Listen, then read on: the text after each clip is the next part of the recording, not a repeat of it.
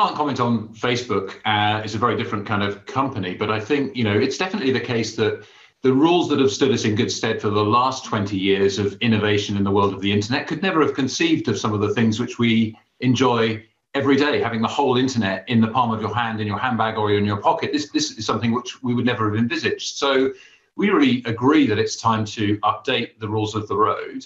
And particularly in Europe, with the Digital Services Act, Digital Market Act, uh, where the drafts are about to be published, there's an opportunity to ensure that we don't just restrict what's allowed, but we also enable what's possible to benefit citizens from the latest advances in technology. On, on that front, let's turn to the Digital Services Act. It's a huge initiative for Ursula von der Leyen's commission. And to your point, it is Europe's way to try to prepare the continent for the future and what life will look like in this new digital age.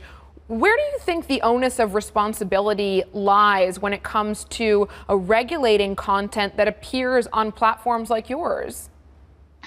Well, I think um, you know we have a responsibility. Uh, probably the most relevant part of what we do is is YouTube here, where it's user-generated content that's uploaded, 500 hours of video every day, and of course we have responsibilities today. Some of them are legal responsibilities to comply with the law. Some of them we've actually developed in conjunction with policymakers like the EU, codes of conduct on, on hate speech and misinformation to try to ensure that we define standards that we can then adhere to in terms of removing content.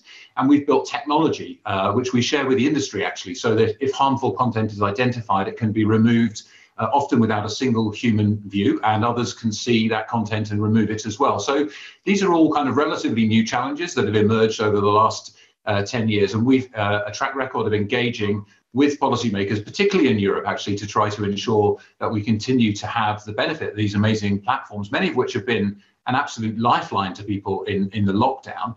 We need to make sure that they're acting responsibly. And we don't wait for the law. We try to ensure that we're always at the forefront of ensuring that our platforms are safe for people. Right, Matt, but to pick up on that as well, um, I actually spoke to the European Competition Commissioner, uh, Margrethe Vestager, last week, and she talked about the new rules. And she said the purpose of them was not just to create safe, a safe environment online, but also for companies like your own to be more transparent. And when we talk about transparency here, we're talking about how search results come up, how products are recommended, uh, the type of uh, ranking that comes up when uh, people go into your Google search box. My question to you is if you actually comply with these rules, are you giving up too much proprietary content? Are you, are you essentially giving up the crown jewels? Well, it's a great question. And, and of course, we haven't seen the detail of the rules. And, and we've always said it's getting the details right that are important. Um, you, but if you ask about search and search results, you know, I'd say that today you can judge our search results by doing the searches. You know, they're completely transparent. You can see the order we rank every result in. And of course, you know, some companies uh, who are commercial may want to be at the top of the list and feel that, you know, it should be them rather than somebody else. There's always going to be a different point of view. But you're absolutely right. One of the reasons that search is so valuable to users is that we try to give you the most relevant and useful results, not to preference any particular organization. And, you know, there's a risk that if we make exactly how we do that completely transparent, then it becomes useless because people are able to game the system. And, then, and that's really one of the areas of detail we need to get right. We absolutely should be held accountable for standards and policies.